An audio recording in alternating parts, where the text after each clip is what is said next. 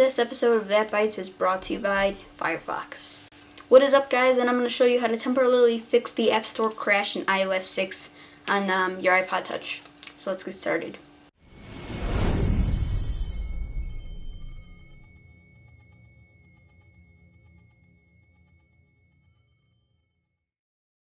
Alright, so uh, many people have been reporting a crash um, on iOS 6 um, on the App Store when you search an app or something. It'll just crash on, I mean, without a notice. It'll not even give an error or anything. So I'm going to show you how to temporarily fix that. Like I said, it's temporary. It won't last forever. Um, but I'm going to show you a technique that'll um, do it until, and I've emailed Apple and um, she said um, that I understand that since you have updated iOS 6, you have been unable to use the search feature on the App Store. I'm reading this.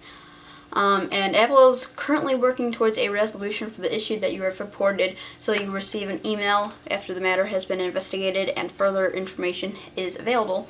Uh, so they're going to basically email me and um, tell me when this has been fixed, and that'll be um, pretty nice. So um, I'm just going to show you an example of what will happen and how to fix it. Alright, so here's my iPod Touch, and um, this is what's been going on. Um, I don't think it's going to do it because I, I did the thing that I'm going to show you, um, so it might not um, fail on me.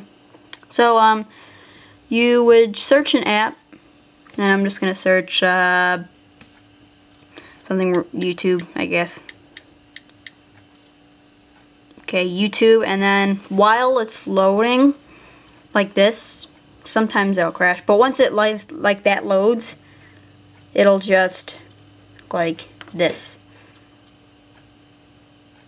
It'll just go like that. And I click the home button so you know that's how I did that. But um it'll just crash. And that's pretty annoying when you're trying to download an app. And for me it did it every time. I could not download one app. Now when I'm updating apps, that's different, but when I'm searching an app and trying to download something, it will not work. I cannot download a single app that I searched um, for on this.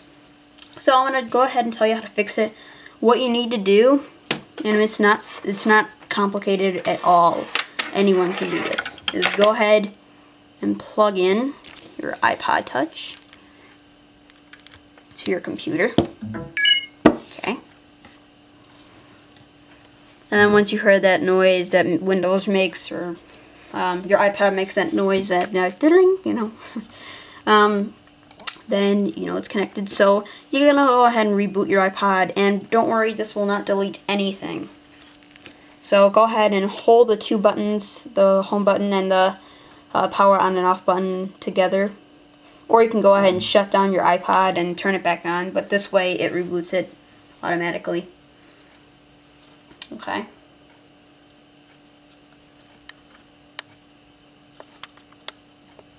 So go ahead and wait for that to reboot. And I this will not work. I think some somebody said this will work for a day, um, but I just tried it today, and um, you know that's that's it. But um, somebody said it'll work for only a day. Um, so this is what I will. I, I'm thinking you can do. When you go to sleep, you can turn off your iPod. Just shut it down completely. Shut it down completely so, you know, when you hold the power button and you slide it and it'll shut down completely. Every time you go to bed, just do that. You know, make it a habit so that, um, you know, the next day when you're trying to uh, download an app, you don't have to reboot your iPod just to download an app.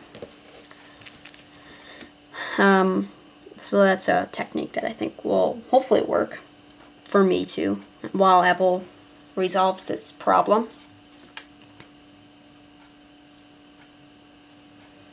Okay, so it's it's good. Go ahead and go on the App Store and try to download an app. So I'm going to go ahead